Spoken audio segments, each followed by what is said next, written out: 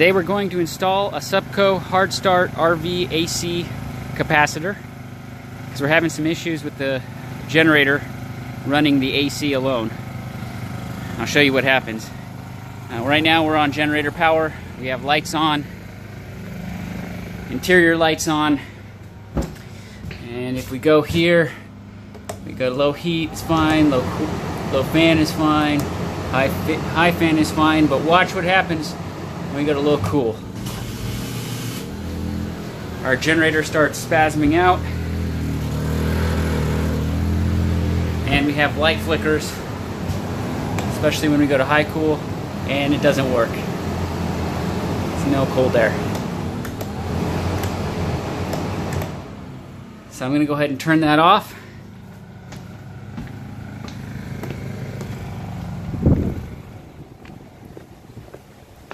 Going to disconnect shore power.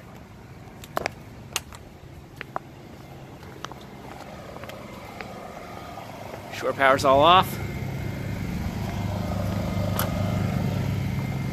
I'm going to grab our capacitor.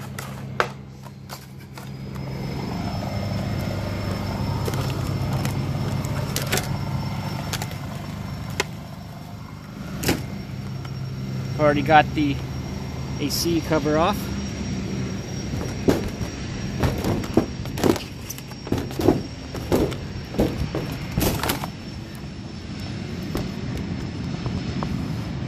You can see that we have a Okay, so I had to stop and check my capacitor and I had to make sure that I got the SPP6 not the SPP6E which I originally had because the SPP6 is 90 volts through 277 volts. So here, I look here, I got 115 volts. So I couldn't use the SPP6E because it was only 170 volts to 277 volts. Um, this one, the SPP6, uh, has a wider voltage range. So we'll go ahead and install that.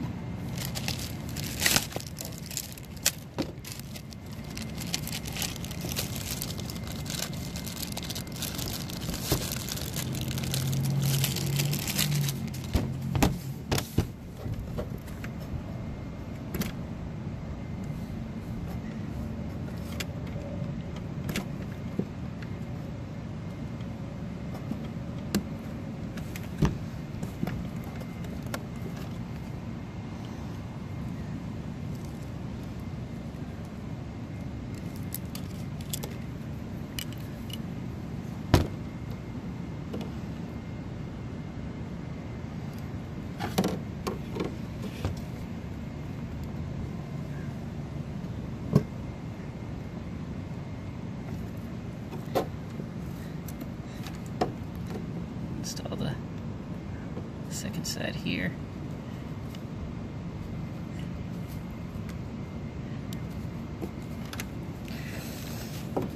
I'm going to leave this here for now.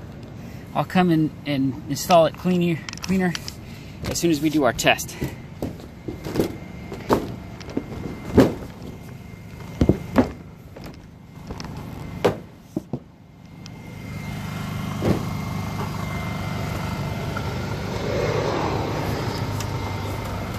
Alright, so I'll go restore shore power.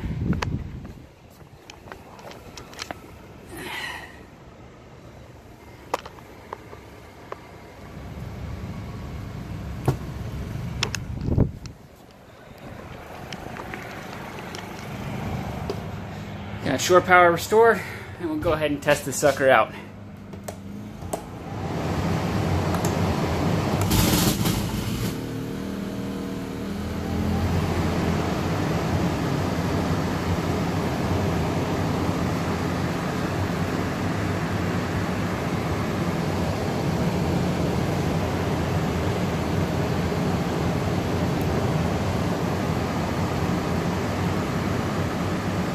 That seems like things are running a little bit smoother there after the first initial start.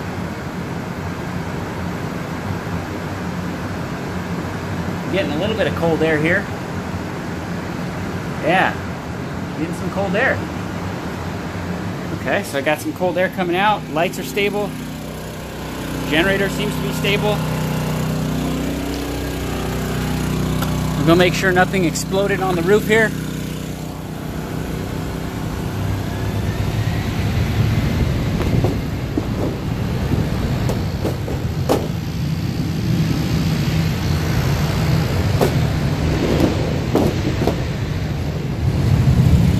Now successfully running our air conditioner on a single generator.